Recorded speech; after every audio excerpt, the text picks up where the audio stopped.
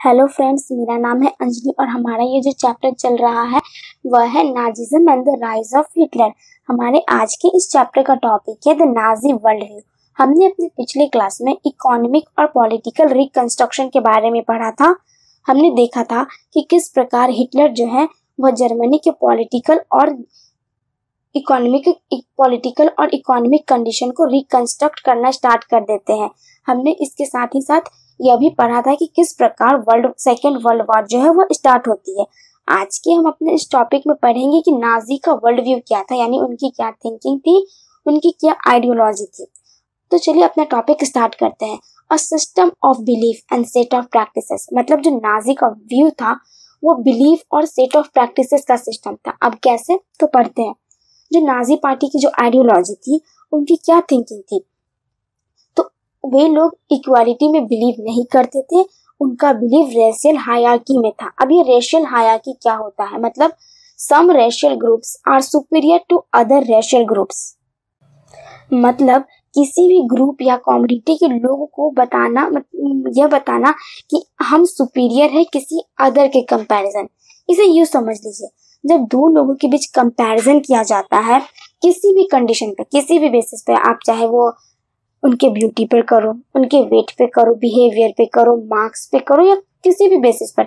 हम कंपैरिजन करके जब यह बताते हैं कि ये व्यक्ति आपसे सुपीरियर है तो उसे ही रेशियल हायर की बोला जाता। है यहाँ रेशियल हायर की मतलब यहाँ लोगों की कॉमोडिटी पर आप जब कंपैरिजन करते हो ना, लोगों के कॉमोडिटी या ग्रुप पर जब कंपैरिजन किया जाता है तो उसे रेशियल हायरार्की बोलते हैं।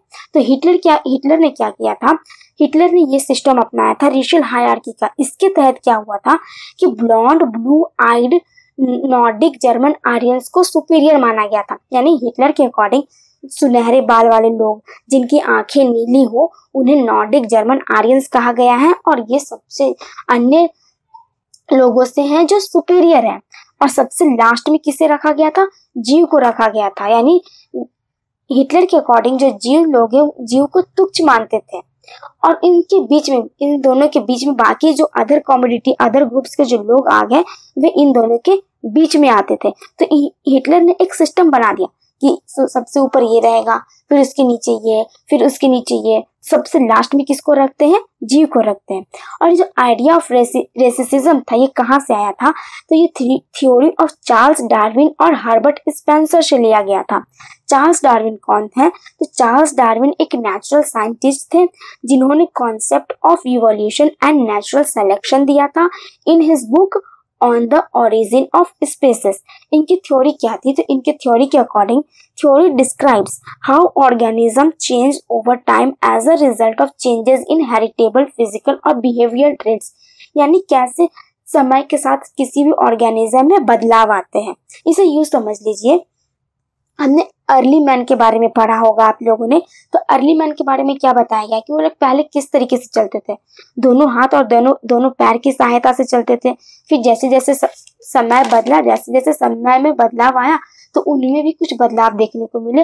फिर एक ऐसा समय आया कि वे सीधा स्ट्रेट अपने दोनों पैरों पर चलते थे। तो ये जो बदलाव देखने को मिले ना, इसी थ्योरी को एक्सप्लेन किया था डार्विन ने।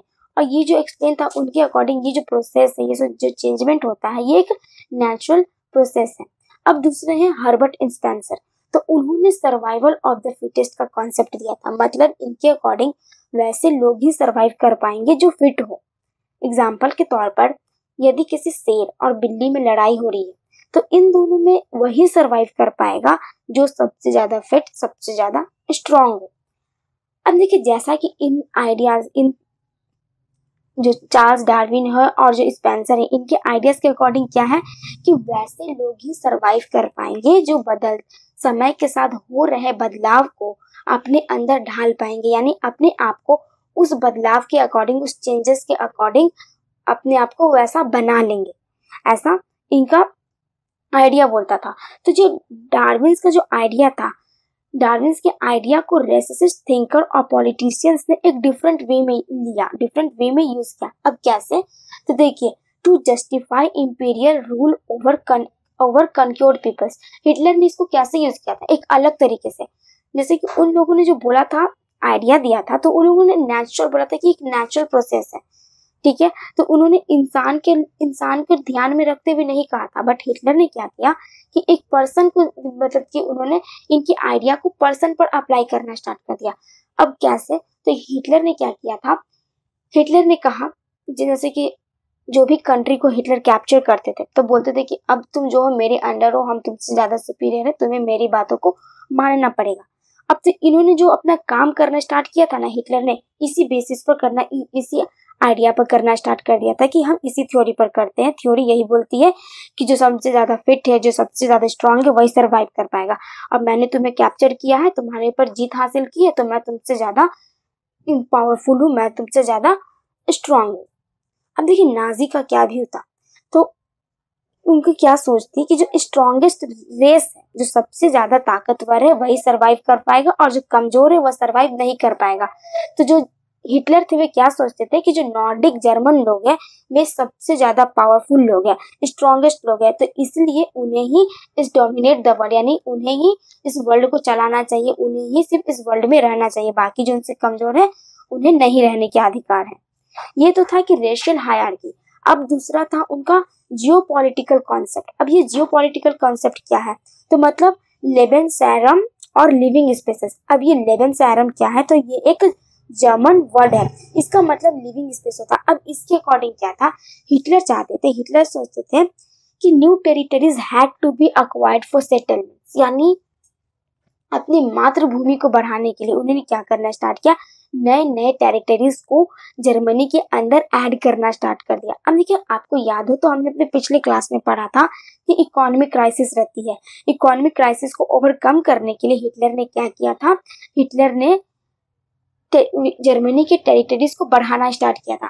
तो जिसके कारण क्या करते हैं हिटलर जो है अदर कंट्रीज़ पर आक्रमण करते थे अटैक करते थे, वहाँ जीत कर उससे जीत कर उसको जर्मनी के टेरिटरी के अंदर ऐड कर लेते थे। तो ये थिंकिंग कौन रखता था? हिटलर ने। तो हिटलर ने इसी कारण मतलब कि हिटलर ने क्या किया कि सोचा कि हम अपने जैसे ही जर्मनी की टेरिटरीज को एक्सपैंड करेंगे, बढ़ाएँगे तो उससे क्या होगा कि जर्मनी का जो मदर कंट्री यानी कि जो देश है, हमारी जो मातृभूमि है उसकी टेरिटरीज इंक्रीमेंट करेगी। जैसे जैसे उसकी टेरिटरी बढ़ेगी तो उसके पास रिसोर्सेज आएगा। रिसोर्सेज बढ़ेगा तो क्या होगा कि जर्मनी जो है, एक पावरफुल कंट्री बन जाएगा।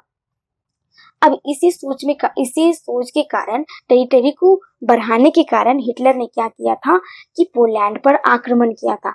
अब जैसे ही उन्होंने पोलैंड पर आक्रमण किया अटैक किया तो ये जो पोलैंड था हिटलर के लिए एक एक्सपेरिमेंटल प्लेस बन गया था। क्यों? क्योंकि हिटलर ने सबसे पहले आक्रमण किस पर किया था? पोलैंड पर किया था और उसे जीत कर उसकी टेरिटरी को जर्मनी की टेरिटरी में ऐड कर लिया था। तो हमने देखा ना कि जो हिटलर का जो सिस्टम था, वो सिस्टम ऑफ़ बिलीफ और सेट ऑफ़ प्रैक्टिसेस था। कैसे? देखिए, वो जो मानते थे, उन्होंने वैसा ही किया। जैसा कि उन्होंने चाहा कि न्यू टेरिटरीज को अपने अंदर लाना होगा रिसोर्सेज को बढ़ाने के लिए। मटेरियल रिसोर्सेज भी इंक्रीमेंट बढ़ेगी, जिसके कारण जर्मनी जो है पावरफुल कंट्री बनेगा। तो उन्होंने क्या किया? इन्होंने ये बिलीफ रखा, इसके साथ ही साथ प्रैक्टिकली रूप में क्या किया कि पोलैंड पर आक्रमण करते हैं। पोलैंड को जर्मनी के अंदर ले लेते हैं। इसके साथ ही साथ उन्होंने फिर सोवियत यूनियन पर भी अटैक किया था। आई होप आपको ये समझ में आ गया होगा। कि हिटलर का मतलब नाजी पार्टी का व्यू क्या था उनकी, क्या थिंकिंग थी। आज के लिए इतना काफ़ी है। हम अपने नेक्स्ट क्लास में नेक्स्ट टॉपिक के साथ मिलेंगे। हमारे इस चैप्टर के नोट्स का पीडीएफ आप सभी के लिए डिस्क्रिप्शन बॉक्स में अवेलेबल है।